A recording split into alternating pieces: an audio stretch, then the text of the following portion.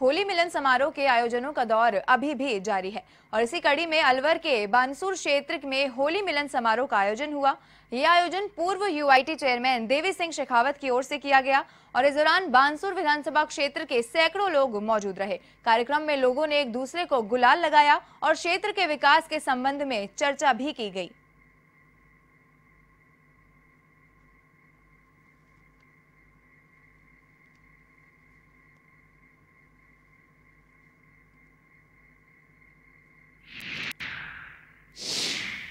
आज पूरी बानसूर तहसील के जो हमारे सक्रिय कार्यकर्ता थे, उनका होली स्नेह मिलन यहाँ आवास पर किया गया और जिस तरह से सभी लोगों ने उत्साह दिखाया और इस उत्सव पर एकत्रित होकर मेरी हौसला अफजाई की और पूर्व की बातें आगे भी सभी कार्यकर्ता मजबूती से खड़े रहेंगे और आधार बढ़ाएँगे, इस बात का भरोसा दिलाया।